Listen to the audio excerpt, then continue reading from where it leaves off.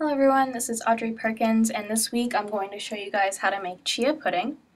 So obviously this is not a new food, um, it's been popularized on social media for years really. So this week instead of showing you guys the basic process, I wanted to show you that you could do many different things with chia pudding rather than just treating it like a breakfast cereal.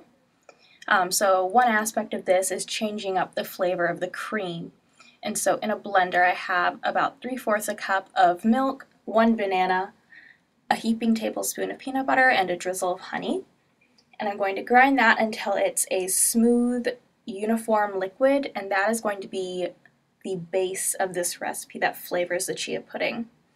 Um, so one key to this recipe is that because chia seeds are seeds, uh, they have their own flavor. They're not 100% neutral tasting. So the key is to use something that has a lot of flavor naturally in the liquid so that it almost overwhelms the flavor of the chia seed and creates its own dessert. Um, so chocolate pudding is a very popular choice in this case, but because I wanted to have some variation, I chose to go with a peanut butter banana route. So once you pour the liquid in, we're going to want to add it slowly into the chia seeds. If you dump it all in one go, um, you'll have a higher likeliness of having lumps. Um, once the chia seeds become wet, uh, they will want to stick together, and because they become gelatinous really quickly, uh, the key is to add the liquid in slowly while stirring constantly. That way everything mixes in equally so that you don't have to worry about anything becoming um, lumpy, as I said earlier.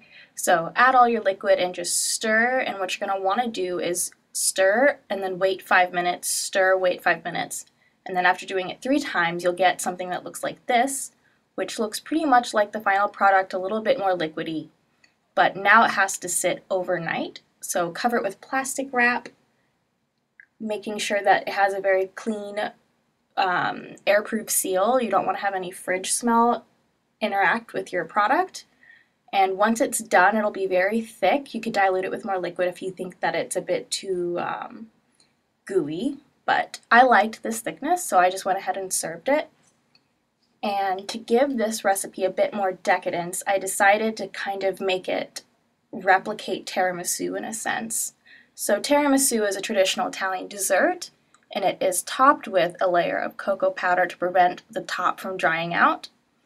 Because chia pudding can be more towards, can lean more towards a health food.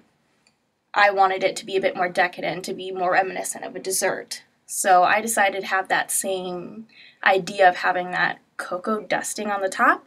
That way you can have this chocolate layer that kind of develops the flavor of the pudding a bit more. So to do this, you first have to make sure that the top is very even Otherwise, the cocoa powder will be very lumpy when you, um, when you sprinkle it on top. So make sure that it's pretty flat. You could do it with the back of a spoon. And then once you're done, you're going to use a um, sifter. And you're just going to put in maybe a tablespoon of cocoa powder and just shake it gently over the top. And it should make that nice even layer.